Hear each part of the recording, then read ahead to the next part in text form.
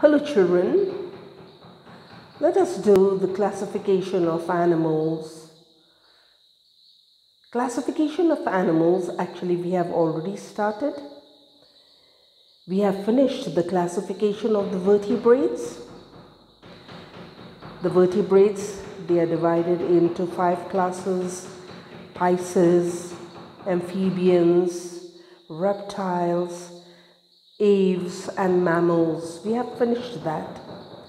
Today we will be doing the classification of invertebrates.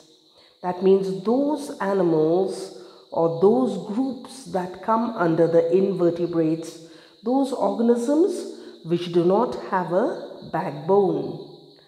Now the first one coming under this is phylum Porifera. It is called phylum Porifera